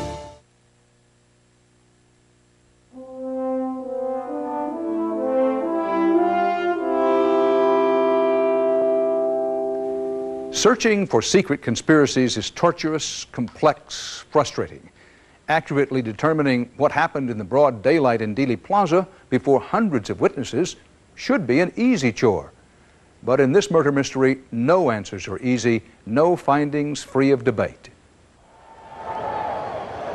This CBS Reports animation is exactly the way it was according to the Warren Commission. The Kennedy limousine was traveling at 11 miles an hour, about to make a left turn onto Elm. On the sixth floor of the book depository building, alone, hidden from any coworker who might pass by, lurked Lee Harvey Oswald. What happened next? That question has puzzled people for 30 years. I don't believe that Oswald was the only one. Many make a pilgrimage to Dealey Plaza from around the world, Problematikou přímo zabývá. Looking for answers. I want to know what happened. Some looking for money. Yeah, these are three bucks. The assassination isn't just an obsession. And if this is all hogwash, let it be hogwash then. If I'm wrong, let me be wrong. But for God's It's a national industry. You want me to ring it up? Trinkets for tourists. There you go. There's, that's you. Almost 500 books, and still counting. It was the crime of the century. This was the President of the United States, and we don't know. We don't know the answer. And I feel like, as an American citizen, I have a right to know who killed my president. Most Americans don't think they know who was the real murderer. According to our poll, almost 9 out of 10 Americans now think there were at least two gunmen. This distrust of the Warren Commission's single gunman theory is often tied to the testimony of three self proclaimed eyewitnesses. All claim seeing a second gunman shooting from behind the picket fence. There is Beverly Oliver, The shots that killed Pe- President Kennedy didn't come from the book depository. deaf mute Ed Hoffman, They were talking about the fact that Mr. Oswald was up in that school book, and I kept saying, No, he was not there. I saw this. I was standing here. I saw this. I saw the whole thing. and Jean Hill. They know me as the lady in red because it was the only thing in red that the cameras picked up that day. How credible are their stories? First, Miss Hill, who is standing across the street from the grassy knoll and picket fence. So I was standing right here when Kennedy's car came down, and the shots started ringing out, and I looked up across the street behind the picket fence up there by the tree. There, in right there in the bushes, this man was shooting with a rifle, and I saw a puff of smoke and a flash of light at the very instant that Kennedy's head exploded. Over the years, Jean's changed her story a number of times. She's a very sweet lady. Farris Rookstool is an FBI employee by day, an assassination researcher by night. He maintains each witness's story falls apart upon close examination. But she's changed her story from saying that she said that she saw some activity in and around the picket fence now. Back in 63, she was unable to, to put a shooter or a gunman behind the grassy knoll. Did you see the person who, who uh, fired the... No, not, I didn't see any person fire the weapon. You only heard it? I only heard it. Just as the president became, came right even with us, we looked at him and he was looking at a dog in the middle of the seat. There was no dog. It's now suggested Miss Hill may have mistaken flowers in the limousine for an animal. This has caused her the source of a lot of embarrassment. Yet at the same time, Jean Hill has stated some half a block away to a block away. She stated that in fact she saw a man running at a high rate of speed, which she is able to identify as a man resembling Jack Ruby. How about Ed Hoffman and his story? Over here on Stemmons Freeway was where Edward Hoffman parked his car, got out of it to watch the presidential motorcade. And as he looked back over here towards the school book depository, of course, the trees weren't as full in 1963. This is where he said he saw some activity happening around the picket fence area. As you can clearly see, it's some 200 yards between the freeway and over there near the uh, concrete colonnade and picket fence area. Mr. Hoffman, with the help of an interpreter, recalls what he saw. And I happened to see uh, someone fire a rifle and it, and I was absolutely stunned. And then I saw the person run back this way. Ed Hoffman went to the FBI in 1967, some four years after the assassination, and first reported seeing some sort of activity near the picket fence. Two hours later, he went back to the FBI and claimed that he was not able to see any activity near the uh, picket fence as his view was obstructed by the fence. It was very clear to me what I saw. And, you know, I can't lie to what I saw. You know, this is really important. We were talking about the death of a president of the United States. Mr. Hoffman's own father in 1967 said that he found his son's story to be incredible. He said his son had made up things in the past, and he found, uh, found his son not to be a very credible witness. To the right of Jean Hill, we see a, uh, a figure that's been identified as the Babushka lady, simply because this lady was wearing a scarf wrapped around her head. Today we have a person who claims to be the Babushka lady, a lady by the name of Beverly Oliver. I was standing just behind Jean Hill with a movie camera.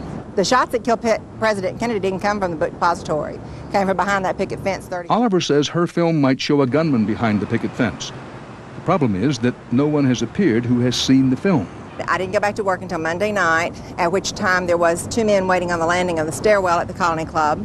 One of them identified himself as an FBI agent by the name of Regis Kennedy, and he took my film and has never been seen since.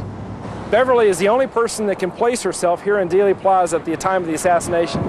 And she did not surface until some 1969, 1970, some five years, six years after the assassination. There are substantial problems with her story. Uh, among them, Gerald Posner has investigated evidence new and old for his book, Case story, Closed. She says that she was taking her pictures that day with a Yashica Super 8 zoom movie camera. Turns out that after she first told her story, somebody looked that up, and that camera didn't exist in 1963. Wasn't manufactured until 1968. She says she was 17 or 19 years old. The Babushka lady appears middle-aged. The Babushka lady is heavy. There are pictures of Beverly Oliver at the time. She was a dancer, a singer at one of the clubs that competed with Jack Ruby in Dallas, one of the strip clubs. She was quite trim. Regis Kennedy, the FBI man she says that confiscated her film, was an agent based out of New Orleans. He wasn't even in Dallas on the day that she claims he took the film. She picked somebody from the wrong city.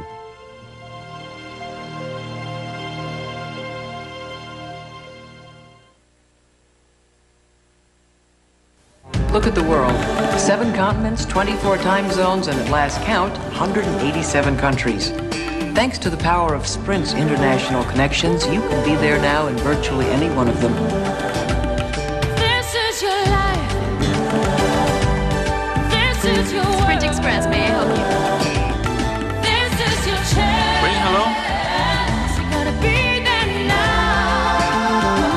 Is the only global phone company that offers everything local, long distance, and cellular. Whether calling around the world or around the corner, Sprint's the choice of millions who want to be there now.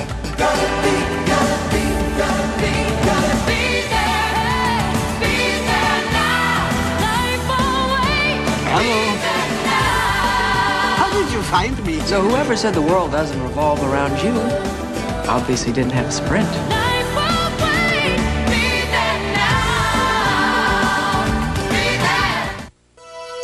What do you do after you introduce the first compact Flareside on the planet? You make an even bigger splash. Announcing the Ford Ranger Splash Super Cab.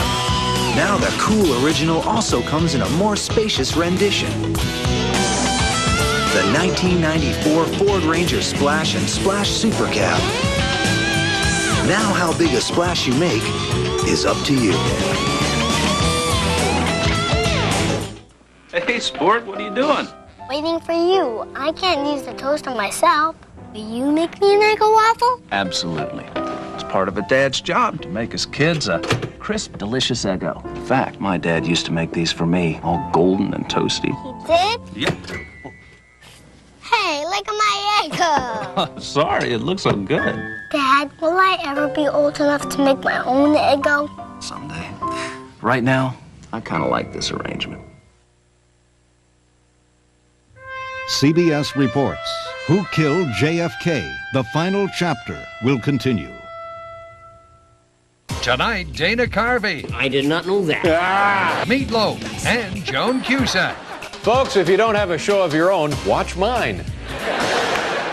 What's the toughest part of parenthood? When your child asks about death, I haven't even figured out how I'm going to explain the Reagan years. Murphy Brown. Then everyone loves a Thanksgiving parade. What are you doing watching this parade on a three-inch screen when it's right here in front of you? Casey Kasem and Donna Mills really bring it to life for me. Love and War after Murphy Brown Monday. This is CBS. If you're thinking about buying a Toyota truck, there's one important option you should know about. The Ford Ranger. And what an option. You can lease a 94 Ranger XLT for just 192 a month for two years. After rebate, all you need is just 392 in cash. And look what 392 gets you. Rear anti-lock brakes, power steering, sliding rear window, AM FM stereo cassette, alloy wheels. Hey, only one compact truck is built Ford tough. The Ranger. Last year, I put up so many lights, I thought airplanes would mistake the roof for a landing strip. This year, I draw the line. Add new charm to your tree with carousel ornaments by Mr. Christmas. In sets of three, just $24.99. Enjoy the music while six carousel horses play 21 favorite carols. For tree or mantle, just $54.99 at Target. Last year, I thought we had a few bare spots, but 2,000 more of these should do the trick, right, honey? It's a wonderful life. On Nightcast, angry parents, frightened children. They're demanding answers about a child molester attacking in their neighborhood. An emotional outburst in court from a man accused of a horrible crime. We'll show you what happened. And women who want to have sex but can't. We'll tell you why they're scared sexless at 11.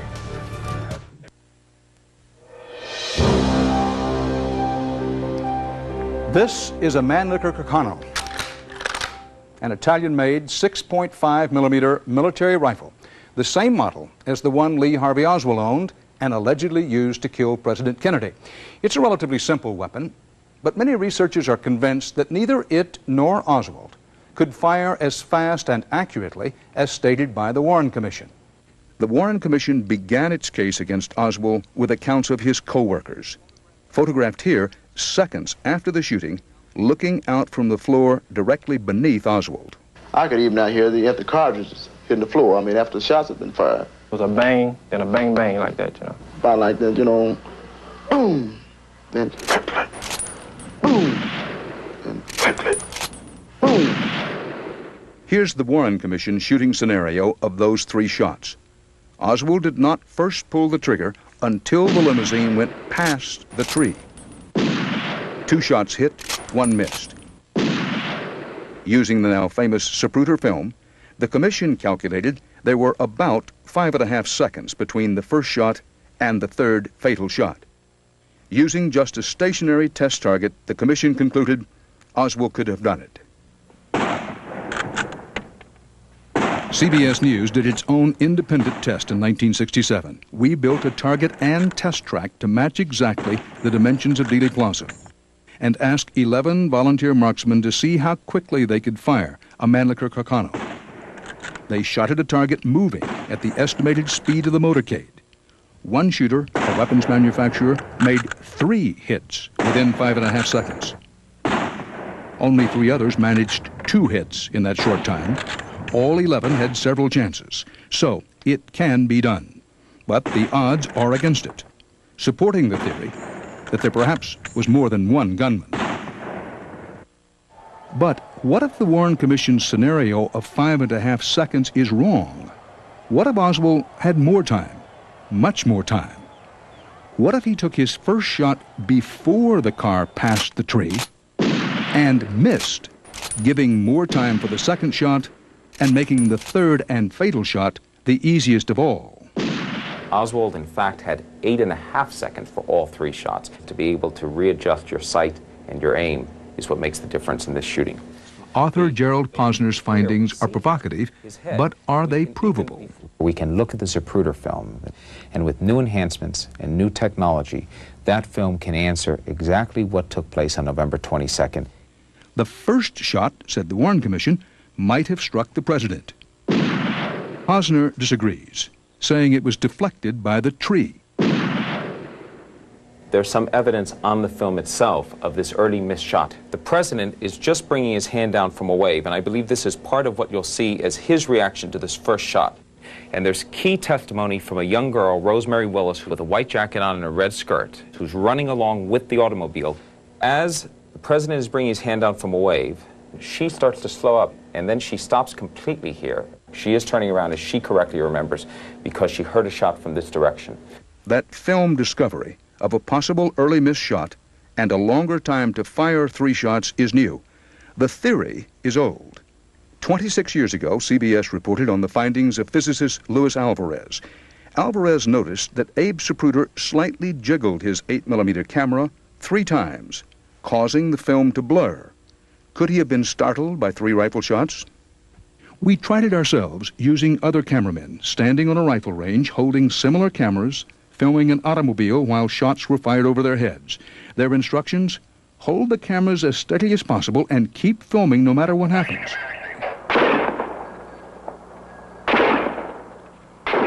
The reaction was obvious. They jiggled with each shot. The blurs in the films they took occur at the same times as in the Zapruder film. And the first blur happens precisely when Posner says Oswald got off the first shot, supporting the theory that Oswald had more time to get off three shots, not the far more difficult five and a half seconds estimated by the Warren Commission.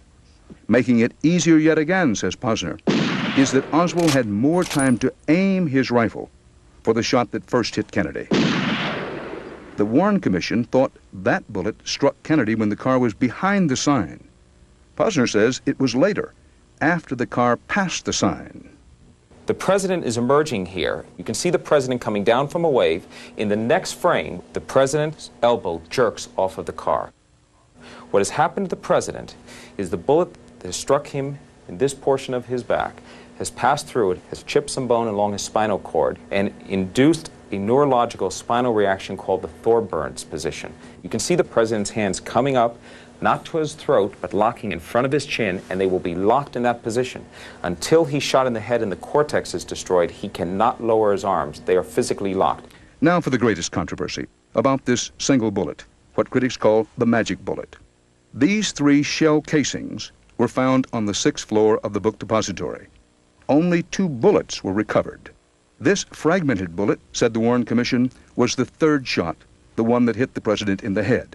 Therefore, the Warren Commission concluded, this other, what critics call magic bullet, must have gone through President Kennedy and then into Governor Connally's back, out his chest, through his right wrist, and finally into his left thigh. The single bullet theory, which is the Warren Commission report sine qua non. If you don't have a single bullet theory, you've got two people shooting. Said, what happened to the bullet that went through President Kennedy's neck? David Belin was a lawyer for the Warren Commission. He came up with the single bullet theory. We reconstructed the motorcade, went frame by frame using the Zapruder film. It turned out that they were right on line at the time that shot first struck. To test the single bullet theory, PBS two years ago used computer animation techniques not available to the Warren Commission. Precise measurements of Dealey Plaza and the speed and location of the Kennedy limousine were taken to analyze if one shot from the sixth floor of the book depository could duplicate the angle and damage of the magic bullet shot. If the governor did turn as he recalls, perhaps reacting to an earlier shot that missed, the trajectories line up and lead back to the sixth floor window. This is frame 223 on the Zapruder film. The president, you're just starting to see his shirt cuff here coming out from behind the sign. Here you can see on both sides of Governor Connally his white shirt. And there's his tie right in the middle. In the next frame, something very interesting happens. This lapel on his jacket, his right lapel, right lapel blows up, covering this part of his shirt. It now eliminates this great question mark of when was the governor and the president struck by a second shot. And how about the third and fatal shot? For nearly 30 years, critics of the Warren Commission insist it came from the front, proving, they say, there was a second gunman. We have the body going forward. We have a car moving in that direction. We have the bullet coming in this direction, according to the Warren Commission, and yet we have the body moving back this way.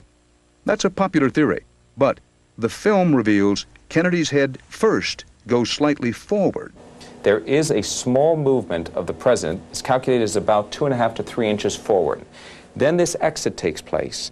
All the evidence clearly shows there were two and only two gunshot wounds from behind, and there's no question that that bullet wound in the back of the head is a typical, classic um, entrance wound. Those in the military and those who hunt know that the entry wound tends to be the small wound. Absolutely. So if you hit, hit a deer or a person, you're most likely to have a small movement forward when the bullet enters. And then as the bullet exits, it blows back. That's right. It happens so fast. We can see, and it's terrible because, not to be gruesome, but this pinkish cloud coming out of the president, but to the front. Now, this is key that the president has been hit from the rear. If he's hit from the front, we would expect to see on this film the red cloud should be behind the president as the bullet exits. In addition, you can see right here a line of material. This is also shooting out of the president's head. This is partially skull and brain matter that is going up and to the front. We now have the photographic evidence of a shot from the rear. And a last and fascinating question. Was the limousine really going at 11 miles per hour when Kennedy was killed? Bill Greer, who was the oldest member of the Secret Service detachment. Remember, he was the wheelman. He was the wheelman. He remembered looking around toward this commotion in the back of the car after the president was first hit, which would have been this shot near the sign. Seeing the president react, he said he then turned around before the fatal headshot, hit the accelerator, and they were zooming out of Dealey at the time the bullet hit the president in the head. What we will see is before the president's fatal headshot, Mr. Greer over on the left-hand side of the car in front of the windshield, very difficult to see, but his head here will turn around. Indeed it does. And you will see him actually looking at the president at the moment of the fatal headshot. He then, if we follow him after this shot, turns around in panic, ducks down. You can see him hunched over and hits the accelerator. So what it means is he has inadvertently given Oswald the easiest of the three shots. When we come back, day four, when everything stopped, everyone watched, and nobody forgot.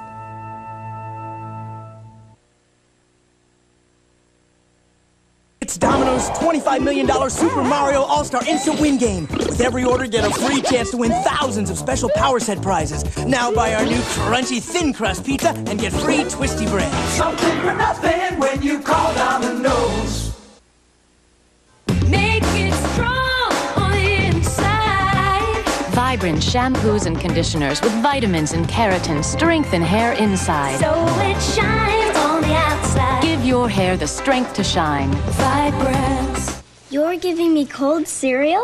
Yeah, but not just any cold cereal. This is different. Quaker toasted oatmeal? Yep. Hey, this tastes good. Well, it should. With all these oatmeal flakes, touch of brown sugar, sounds good too. But there's more. Whole grains of oatmeal on every oatmeal flake. Heck, that's oatmeal on top of oatmeal. Same good stuff as the hot. Quaker toasted oatmeal, original and honey nut. It's my other oatmeal. The fashion shows are exciting, but I'm here to work. I'm one of the buyers for Sears. Our team looks at clothes through the customer's eyes to find exactly what she wants in dresses, sportswear, everything. Bringing a new sense of style to Sears. Now that's a job for a woman. Come see the softer side of Sears. She burst from anonymity to take home a silver medal at the 93 World Championships and quickly became one of the brightest stars on the U.S. ski team. About 65 miles south of the nearest stoplight, and two miles up in the Rocky Mountain sky, you'll find skier's heaven, also known as Telluride Ski Mountain, where the skiing's perfect and the views are even better. And whether you're going to extremes or just going for a lesson, don't go without your Visa card, because at Telluride Ski Mountain, they'll let you take the plunge, but they won't take American Express. Visa, it's everywhere you want to be. Picabo Street was just called Little Girl until age two when her hippie parents named her for an Indian tribe. Now the girl who grew up in Triumph, Idaho is hoping to triumph in Lillehammer. The Olympic Winter Games returning to CBS. This Olympic moment sponsored by Visa. It's everywhere you want to be. When a battered wife finds sympathy in another man. You deserve a good life. And a bored husband catches the eye of an alluring stranger. She makes me feel sexual. Exactly who is seducing whom? Your wife told me you were working late. Are you having an affair, Jimmy? It's an all-new episode when Picket Fences returns next Friday. Rejected by one man, tempted by another, and now trapped by a mysterious murder. For Kate Benedict, it's time to believe in second chances. Premieres December 2nd.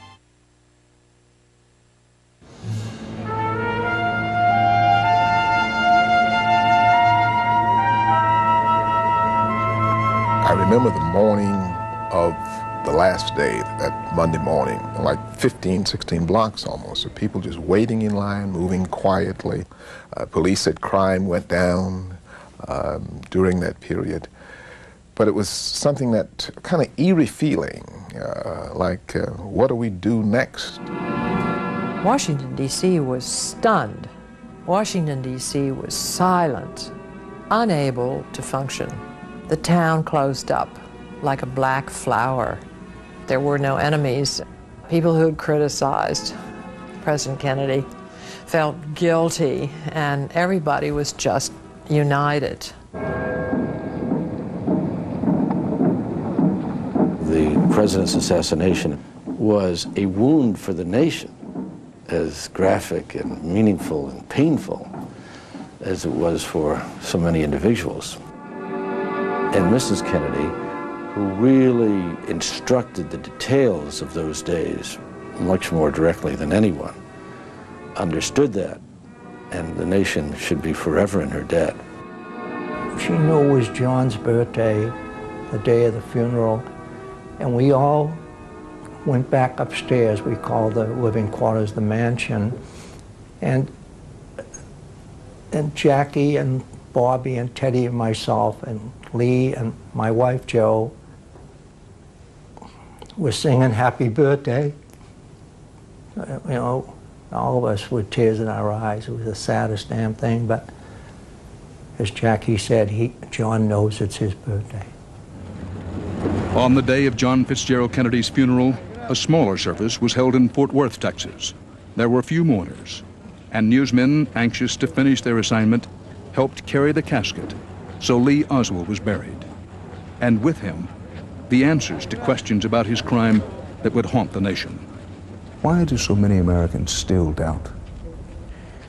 The enormity of the crime, its unexpectedness, and the fact that nobody got a chance to see Oswald on a stand, people still have these doubts. And I think the doubts will remain 100 years from today. I never accepted the conspiracy theory. I've never given two seconds to it. I don't even want to tolerate it as an idea. There are a lot of people around trying to make money off of new ideas for books and movies. Bully for them, but let him rest in peace.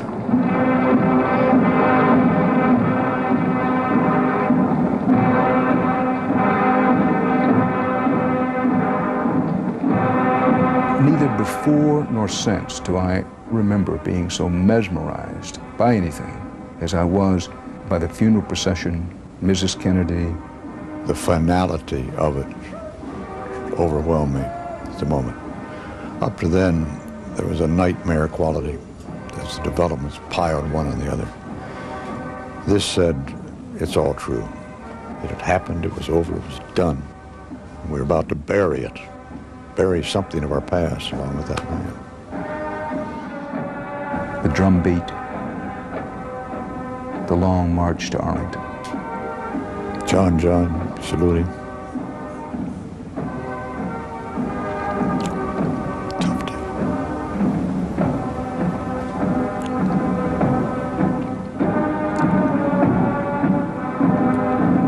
Anchorman shouldn't cry.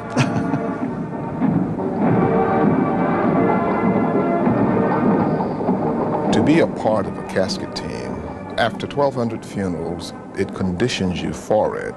But this was John F. Kennedy, uh, my hero, uh, the senator from Massachusetts who I'd admired since age 16. We folded the flag, presented it to the cemetery director, who then presented it to Miss Kennedy, and I just sort of went to pieces. Robert Kennedy was in a state of shock, I think, for literally months. We would, on many nights working late, go to Arlington and climb the wall and walk quietly to the president's grave. And the sentries there all knew him and saluted when he arrived. And just very quietly, he would kneel and say a prayer. And then just as quietly, we would leave.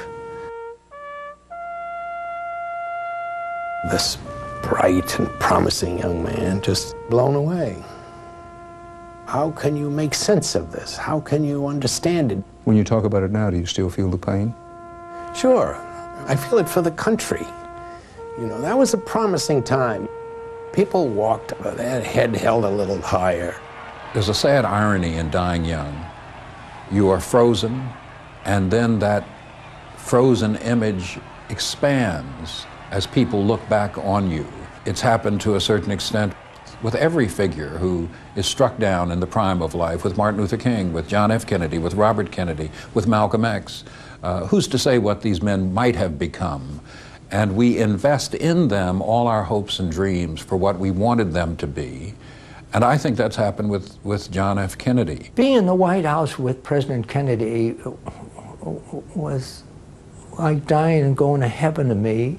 I, I called him Jack for 14 years, then was Mr. President for two years and 10 months and two days. No, and I lost the best friend I ever had. And today and tomorrow, we shall miss him. And we will never know for sure how different the world might have been had fate enabled him to complete his second term.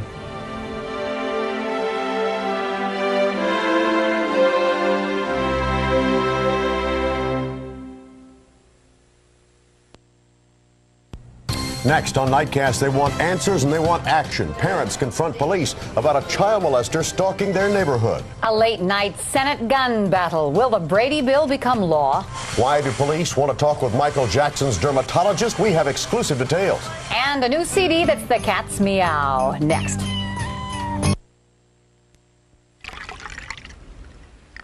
Like the Lexus LS 400, the Nissan Altima has specially tuned shock absorbers and front and rear subframes that give it an exceptionally smooth ride.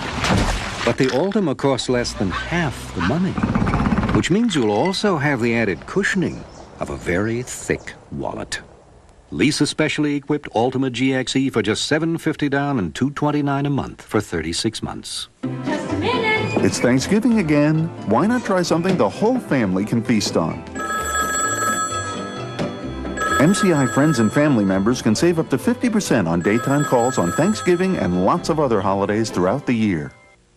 Introducing Nestle European style hot chocolates. Savor the richness of Swiss chocolate truffle. And make the world go away. Nestle European style hot chocolates. You know, I'm used to ruining my own clothes. I didn't know it was a special blouse. It was from my mom. I went to the shower, someone bumped me. The meatballs, it went all over me. Her meatballs swim in grease. Came home, washed the blouse. The stain is not out. I poured a little bit of the Tide on there. I didn't think we were going to get it out. Introducing new Tide with grease releasers. Grease this tough is so tough, many detergents could leave it behind. But nothing beats Tide. There's no stain. There isn't it. It's gone. It's gone. It looks new. If it's gotta be clean, it's gotta be Tide. It looks better on me. You've never been so close to a Downy scent this bold. New Mountain Spring Downy, bursting with the scent of mountain air. The boldest, most refreshing Downy ever. Step into the mountains, a new scent can take you there. Oh, they're so refreshing, mountain spring is in the air. Smell new Mountain Spring Downy, bursting with a bolder new scent. As bold as mountaintops, refreshing as mountain air. Step into the mountains. New Mountain Spring Downy. Come on into Downy.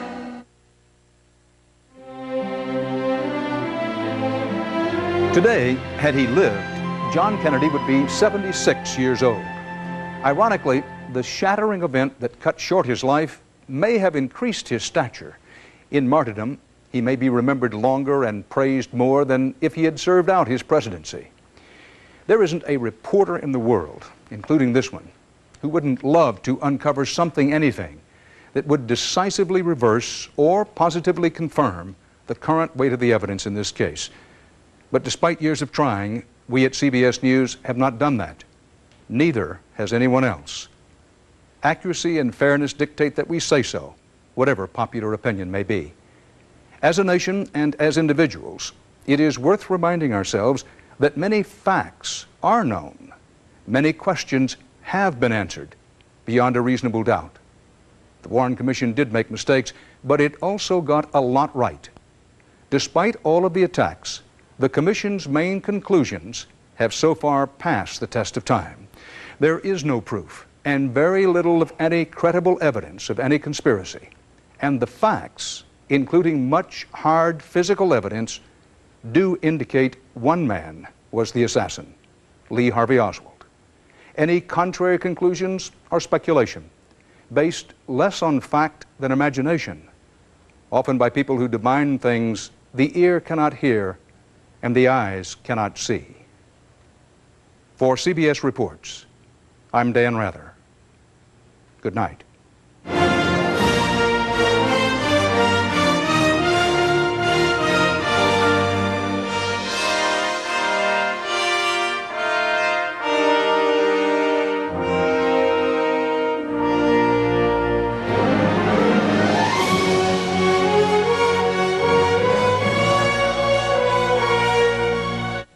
You won't want to miss tonight's Late Show with David Letterman with Dave's guests, Dana Carvey, Meatloaf, and a whole lot more. Stick around for the fun. Thanks for making CBS America's most watched network. This is Mark McEwen, and I'll see you Monday on CBS This Morning. Now, get ready for your local news.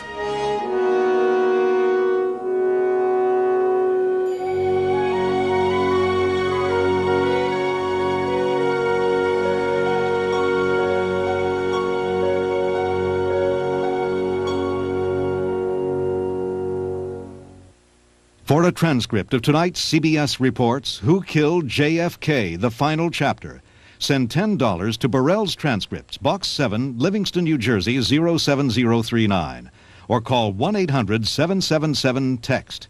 To order a videocassette, call toll free 1 800 453 5000. Experience. See